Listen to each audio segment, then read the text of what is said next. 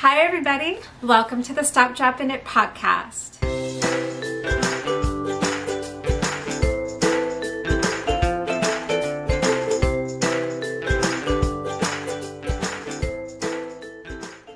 Hey, everyone. Welcome to the Stop Drop and Knit podcast, episode 72. My name is Lisa. I'm coming to you from Long Island, New York, and this is a podcast where I chat all about my knitting and spinning and natural dyeing projects. Today I have a whole lot of knitting to talk about. So, I have updates on last week's projects. Last week's episode was my Knits Gone Wrong episode. So, I have some updates to share with you about those projects. We've got lots to talk about today, but first of all, I am so excited to talk about what I'm wearing today.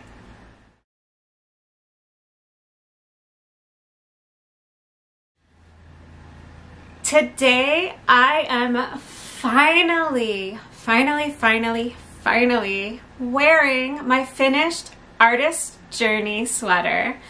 This is a pattern by Annie Lupton of Boho Chic Fiber Co. I started this sweater such a long time ago. Two years ago, actually. I started this sweater.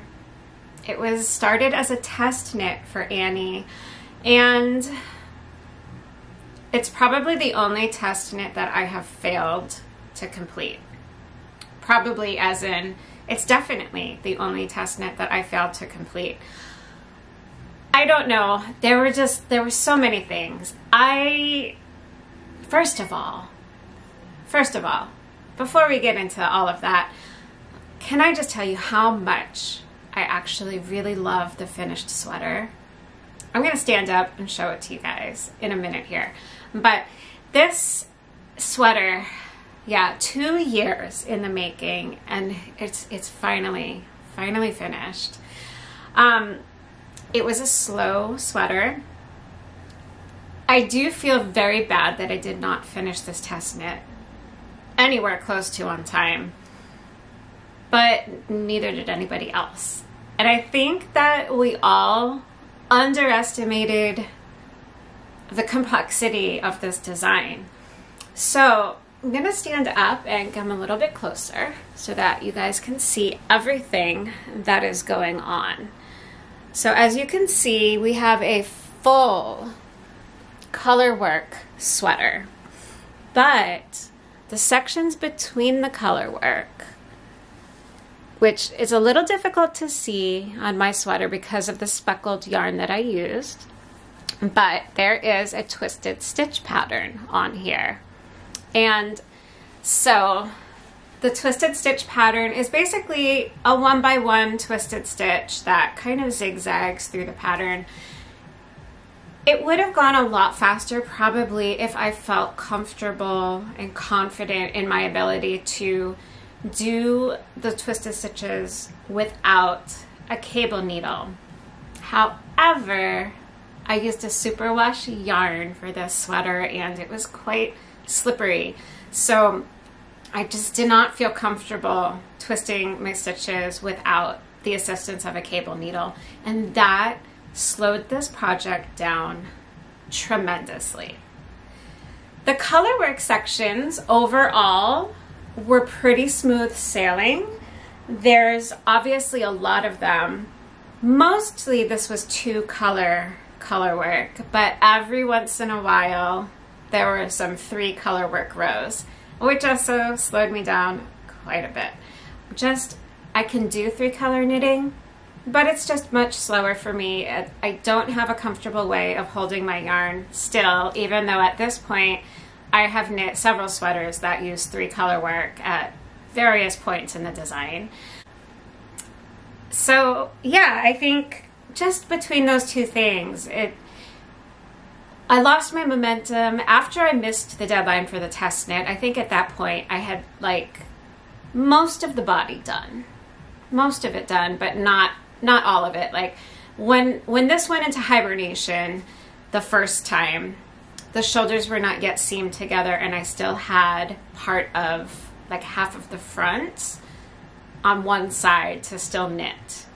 So, a year ago, it came out of hibernation and I finished up the body. I knit a complete sleeve and I did like maybe the very first band of color work on the second sleeve. And then it went back into hibernation. I just, I lost all my steam. I think it went back into hibernation the second time when we were packing up everything to move. And at that point, it was April, and I wasn't going to be wearing this anytime soon, so it just went away. So this year, finally, it came out of hibernation again at the end of every year or the start of every new year. I have been doing a roundup video of what projects are still lingering WIPs. And this was high on the list to get finished this winter. And I did it. Um, in January, I didn't touch it at all because I was working on a test knit for Catherine Clark. But once that sweater was done, this was the first project to come out of hibernation, and I finished it. Like I just, I went and I didn't stop until it was finished, and it feels so good. So, so, so good to finally have it done. When I showed you guys the sweater last week, I had a gazillion ends to weave in pretty sure I took a picture of all of the ends when they were finally woven in. But it's done and I love it. Going to back up just a little bit so that we can see like how this fits on me. I haven't gotten a chance to take any pictures yet. This is the first time I am wearing it, but I I really love the fit my body is here. It has a really nice amount of ease. The length is really perfect on me. I really like the length. Like it's not, I've got wider hips now, so it just kind of sits right above my hips, which is perfect because it doesn't do anything weird. I think the only, the only part of the fit of this sweater that is not perfect is right here at the arms. It's it's not too tight, but I feel it like it's right up against my arms. And I think that because of that there's no real there's no ease underneath the arms over here. Um, and so it's fine. Um, I don't know that I could or would want to wear anything underneath this that wasn't like a tank top. But it's also super soft and close to just, it's really, really soft. So I don't feel like I need to wear anything underneath it. And yeah, I am I'm so pleased. The yarn that I used was Wonderland Yarns. I purchased the yarn for this project a couple months before I became a brand ambassador for them. So the sweater was 100% purchased by me, but now I'm a brand ambassador and you can save 15% on your Wonderland Yarns order with the code YARNVIP. So you can use that at any time and save a little bit of money. I love the colors so much. I forget, I don't have the yarn here. I think it was the Mad Hatter base that I use. I think it's a sport weight yarn. The main color is called Frippery and all of the color work was an eight pack mini skein set called Rhyme and Reason. And all of the jewel tones, I used six of the eight colors, and it's just, I am so happy with the finished result of this sweater. This was definitely a labor. It was a labor of love for what the finished project was going to be, not so much love for the process, but yeah, sometimes you can't have it all in a knit. And I really just, the moment that I saw this sweater, when Annie put out her test knit, I fell in love with it and I knew that I really wanted to have this piece in my wardrobe. I wish that I had completed it on time. I wish that I had enjoyed the process a little bit more. I do not enjoy doing one by one twisted stitches with a cable needle. So um, I've since learned how to do them. We'll talk about that later um, without a cable needle. But yeah, so Artist Journey by Boho Chic Fiber Co. Annie Lupton is now a sweater that I can just wear and enjoy and I'm so happy to have that done. So that's what I'm wearing today. Let's move on to finished objects.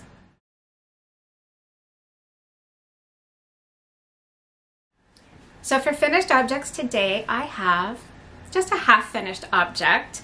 I finally finished my sock. I have been working with this Knitterly Things yarn for a few months now because I knit my son Owen a pair of socks out of this same yarn um, right before Christmas and I fell in love with this colorway. This colorway is called That Fall Feeling and it is just it's just gorgeous. I love how gender neutral this colorway is. It goes with so many things in my wardrobe. It goes with obviously so many things in my son's wardrobe. It's got his favorite blue and orange colors in here. It's got my favorite purple in here. It's just, this, this colorway is stunning.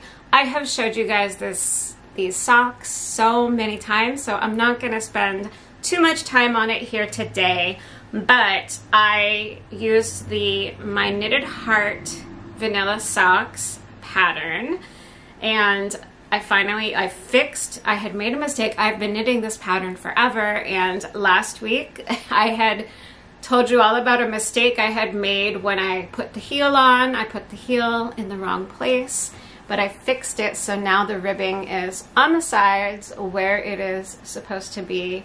It is just a um, traditional like slip stitch uh, heel flap and heel turn construction and I've got one sock. Now I have to knit the other one. So that is all of the knitted finished objects I have, but I'm not going to have a spinning segment today because I haven't done any spinning this week, but I did want to show you my finished yarn. So I have now, I showed you guys this yarn last time, but I have now washed it and thwacked it and dried it. This is yarn that I spun from Wildwood, Wild Wool Farm. This was gifted to me, this fiber, to spin up. And oh my gosh, I love it. I love it so much. So this is what it looks like. It is a Merino Corriedale mix and I just, I love it so much. The, uh, I'll show you guys out of the skein. I'll untwist it here. So the the different shades were blended um, through the drum carder, the different fibers and colors together. My my tension or my my yarn weight is inconsistent, but I don't know if we're focusing here. We're, we're a bit in, here, let me just stand up here. We're a bit inconsistent, uh, but I just, I love it so, so much. And this, this was like a real pleasure to spin up. So the different shades of blue are absolutely gorgeous. Um, I'll show you the purple too. The purple is my absolute favorite. Um, I mean, you can tell these these colors match my sweater. I love jewel tones. I love jewel tone colors so much. And uh, I'm so thrilled with this yarn. So let me stand up again so my face gets out of the way. Um, so yeah, it's it's just completely finished now. I know I showed it last week, but it hadn't yet been washed and dried. So uh, the only thing that I haven't done is calculate the yardage. so um, yeah, I would say that in places this is maybe a sport weight at its thinnest and maybe a DK to, to worsted maybe at its thickest. I don't know. I have, I have those little tools from Katrinkles and that you can like lay your yarn onto. So, um, and kind of tell like, I can figure out how many wraps per inch, but it's thick and thin. It's, it's not perfect. So I don't know. I don't really know if it's going to qualify as like one single weight of yarn or not, but I'll use it for something. You guys will be seeing this yarn again once I figure out, um, oh, that was terrible. Once I figure out what it, what it wants to become. I think my plans are to use this yarn in some kind of color work project, but I, I don't know. I don't know what it's going to be yet. For now, I'm just going to enjoy the finished yarn, looking at it and squishing it. It's, it's just, it's stunning. I am so happy with it. So again, this is fiber from Wild Wool Farm and Arlene sent it to me to unbox and try out and I received it six months ago in September. I spun it up on my drop spindle. So it took me, it took me kind of a while to get through all of it. I mean, I went through periods where I wasn't spinning for several weeks during the winter, but I'm spinning more regularly again now, and I'm so happy that this is all finished. I love it so much. So that is everything that I have finished. Let's go into WIPs and give you the updates on my knit's gone wrong from last time. There's still there's still a saga. There's still a saga. So onward to WIPs.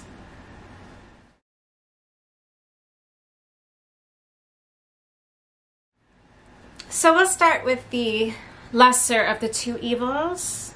Yes, I think I think that's a good idea. Um, my husband's socks. So let's review really quickly. I am knitting my husband this beautiful sock. I really, really like it so much. Um, this is the Checklist of Birds sock. It is a yarn collaboration between Gauge Dye Works and Andrea Rangel, knitwear designer. So this is the Great Blue Heron colorway. My husband grew up on Blue Heron Drive for a little while when he he moved a lot, but one of his childhood homes was on Blue Heron Drive, and um, he really likes birds a lot and he's always pointing out birds and he really likes the great blue heron. So when I saw that that was one of the colorways, I was perfect. Like, I'm gonna get this for my husband. So, okay, so Gauge Dye Works, this collaboration, for some reason, Gauge Dye Works does not make six ounce skeins, just four ounce. So there's 115 grams in this skein. My husband has very, very big feet. He is a size 12. And the way that Gauge Dye Works dyes their yarn, um, the heel, toe, and cuff yarn is in the center and the self-striping yarn is on the other half of the skein. So like one half of the skein or like a certain mathematical proportion of the skein is for the heels and toes. Like if you unwound it, one whole section would be beige and the other section would have the stripes. It's brilliant actually how they do it. The pattern has four different sizes. I am knitting the size three. The sizes are more for circumference of the leg than they are for foot length, right? So I'm knitting the size 3 out of 4. My husband has size 12 feet, which means that his foot was very long. So I was realizing what I said last week was that I was not going to have enough of this yarn to knit two socks from this one skein. You're supposed to be able to. The pattern is written in such a way that you can get two socks out of it. However, when I showed you guys last week, for his size foot, you're supposed to stop after the fourth bird pattern repeat. So one, two, three, four, and then knit the cuff. So his sock was like only this tall. He really, he wasn't having any of that. It was, he wanted trouser length socks as I always knit him. They were longer than shorty socks. Even if I made them into shorty socks, he only wears white shorty socks. That's just the way he is. He will wear fun socks with his trousers and jeans and stuff, but he's not going to wear like a footy sock in a striped wool yarn. He's just not going to. So, anyway, I did find out that Gauge Dye Works actually does sell 150 gram skeins. For some reason, they did not do that for the checklist of birds collab. So my update is that I went on their site, I ordered another skein of this colorway. Thank goodness I did because the way that Gauge Dye Works does their collections is that they're not permanent. They're here for, I think I bought this in maybe September, October, something like that. They keep them around for a few months and then they kind of retire them. They had already sold out of more than half of the bird collection colorways. So you can bet I snagged up another skein of this because I really do like it. I didn't, a lot of you guys said just, just take it out, just, it's not worth buying a second skein of yarn, but I really did like it. And so now I've ordered another skein. It's coming from Canada, so they're dyed to order, although I think that one was just what was in stock. But you know that I ordered other things as well to save on shipping or to make better use of my money just because I wanted to, really.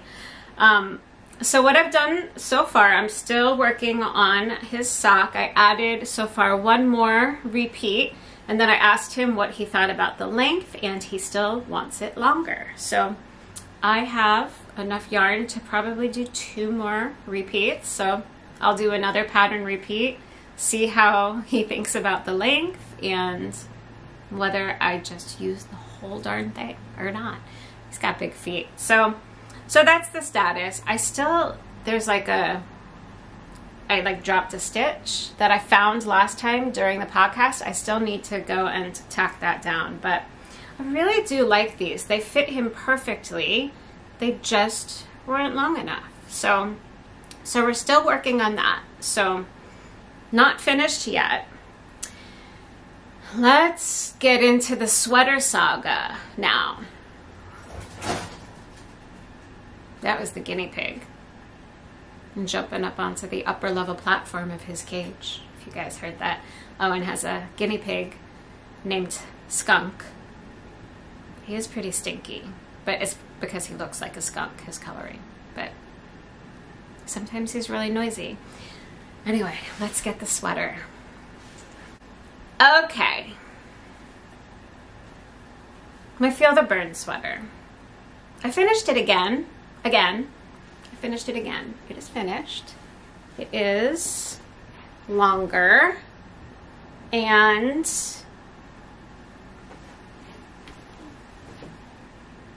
I don't like it. I made it too long. I don't like the length. I'm going to put it on for you guys so that you guys can see what I'm talking about. And then we'll discuss. Some things about the fit I think are good, and other things, actually, no. I, I really don't like the fit. I'm not going to wear it. And this is a problem. So this this is still not done. We, we still have work to do. So we'll talk about it. All right. I guess before before we put it on, in case you're new here, welcome. this is my Feel the Burn sweater, and I knit this out of my naturally dyed yarn. I dyed all of the colors, well the white is undyed, but all of the rest of them were dyed with black walnut. So the, um, the medium brown color was like the regular color from the black walnut. The lighter tan was an exhaust bath, and then the darker brown was the medium brown first and then I used an iron after bath to darken the color. I love it. The um, as soon as I saw all the different shades of brown, I knew this this pattern was in my queue. I really, really wanted to knit this pattern. It's gorgeous. The browns on me, I love the color brown on me. I don't gravitate towards browns, but it's a good color for me. All right, so I'm gonna put it on and then we'll discuss. Okay. I love it. Like I I want to love this so much, but I want it to be perfect and the fit is just not perfect. So, all right, first of all, I was I was wondering how this like was going to fit and it's not quite as high. Like before I blocked it, it was it was sitting more up here like this row of color work here, this band of color work, I was saying last time was not giving any stretch. Like these, the other parts of the color work, you can see these have a lot of give. This one here, it just, it, it didn't. And so I was like wondering about the neck. I'll show you guys the, um, so she does the short rows. There's a short rows in the back to raise to raise the neckline in the back. And I mean, it it doesn't fit.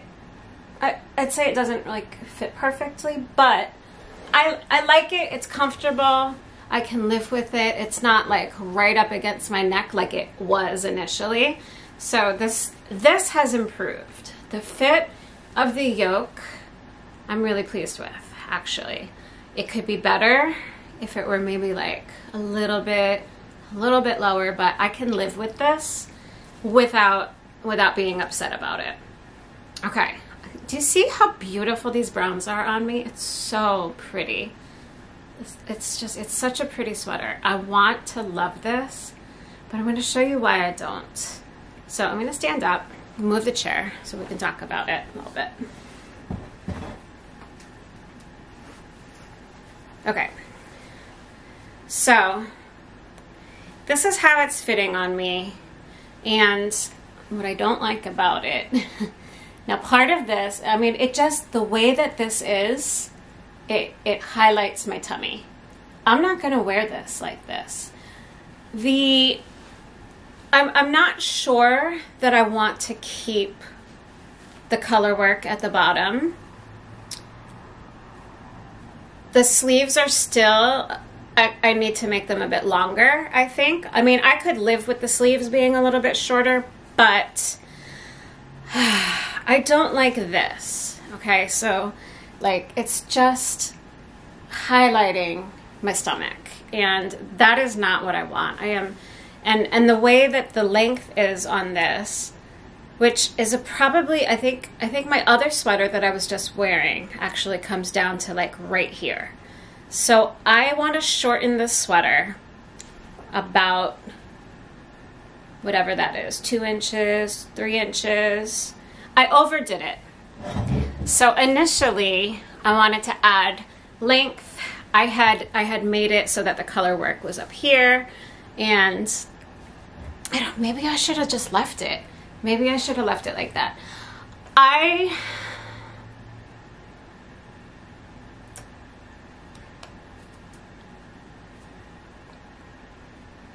I want to make this sweater so that I feel comfortable in the body that I have right now. I used to be a skinny little twig that couldn't keep weight on no matter how much I ate. That's all changed ever since I had a baby. My body is different now. Yes, I want to lose 10 pounds, but I don't want to wait to wear my sweater until I lose weight because realistically, maybe that'll happen, maybe it won't. And if it doesn't happen, then I've got a sweater that I can't wear. And so, the ease on this sweater, because it was designed as a cropped sweater, there's not like so much positive ease here. Okay? Now, all right, I also, I didn't swatch. I just blindly cast on. So that's my fault too. I am meeting gauge. Maybe I should have picked one size bigger and then maybe that would have solved like the fit up here and the amount of ease. So, but I'm not going to start from scratch. I think that this can work the way that I have it. But I think what I'm going to do is eliminate, I keep standing up and sitting down, but I think what I want to do is I like the color work on the sleeves, but I don't also like it with the body. So the way that she wrote the pattern, Caitlin Hunter had short sleeves, right? So that there was no color work here, it was just short sleeves. And then this color work was kind of raised up a bunch, even more than that. But um, I might be able to even live with it like that. But I think that I don't know if I like it. Like, do should I just should I just take out two inches and leave the color work in? This already I like this better because now we're not hugging my hips funny, like the color work's not cinching in funny. I could also do the ribbing without going down a needle size. So I could I could maybe, all right, so these are my options. Do I just take out a little bit of the length? I like this a lot better.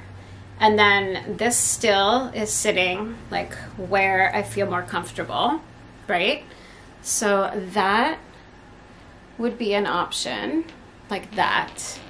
Or do I want to take out the color work and have it be with just without the color work on the bottom. So these are like my two my two options. Do I want to do this, which is kind of what I was thinking initially, just like take out the color work, put the ribbing on without going down a needle size so that it would be a little bit more drapey, like that, maybe. Do I want to do that? Or do I want to do this and just raise it and then have it like that?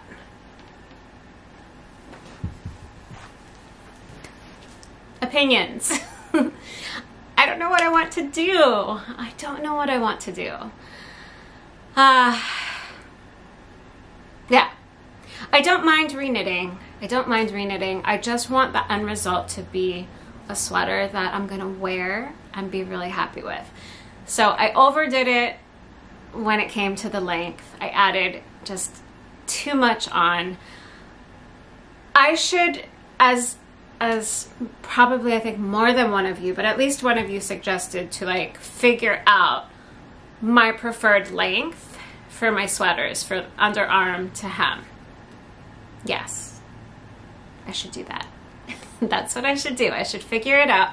I really do like the length of the Artist's Journey sweater that I'm going to change back to, into in a minute here. And it's about maybe two, between two and three inches shorter than what this is. So yeah, so that's where this is. Um, so, so what should I do? Should I leave the color work on the bottom and just like take out a couple of inches and just raise it a little bit higher? Or should I just rip out the color work and just eliminate the color work on the body, leave it just on the yoke and on the sleeves, and then just put the hem? Either way, that's the length that I am now going for. So not cropped, but not like super long that it's going around my stomach and my hips. And I'm gonna knit the ribbing just on the same needle size, I think. I think. Yeah. So, opinions, weigh in, comments. You guys gave me so many comments last week. It was amazing. I love hearing your input. So please give me feedback. What should I do? What do you vote for? Yes, color work? No color work. What do I do? And then after I figure out the body, I will decide if I can live with the sleeves being a little bit shorter do I want to just extend the ribbing a little bit or do I want to extend the brown part a little bit or do I just want to not bother? So I think I'll have a clearer idea of what I want to do with the sleeves after I solve the body. But yeah, so this is still very much a work in progress. It's very whippy, very whippy. So yeah. Okay, so I'm gonna change back into my Artist Journey sweater. So stick around, I'll be right back, back in my other sweater. I have one quick little thing for my Sparking Joy segment.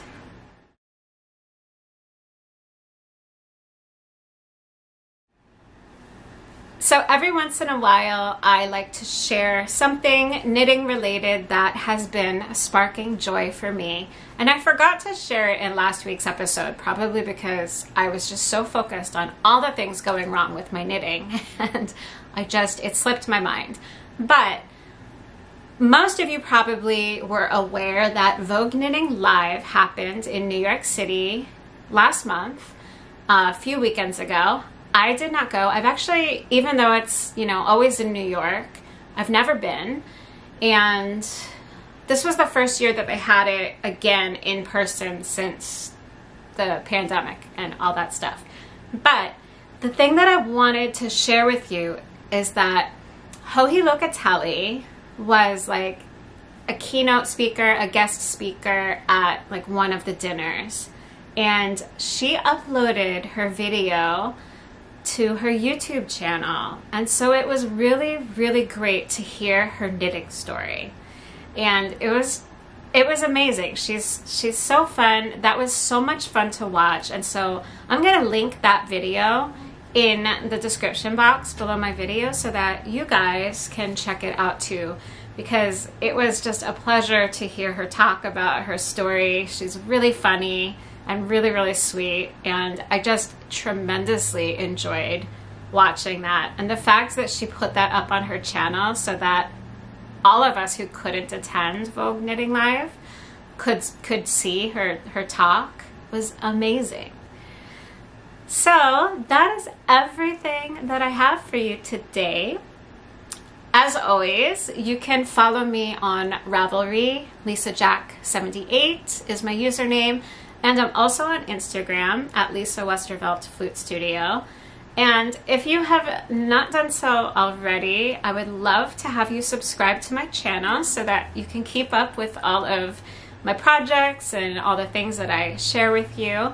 And I really tremendously enjoy receiving comments from all of you. So please leave me a comment especially regarding my Feel the Burn sweater. I want to know your opinions on do I do the color work? Do I not do the color work? What should I do? I need some input. I'm kind of torn between the two options. So anyway, I hope that you all have an amazing week and thank you so much for watching. I will see you next time. Bye-bye.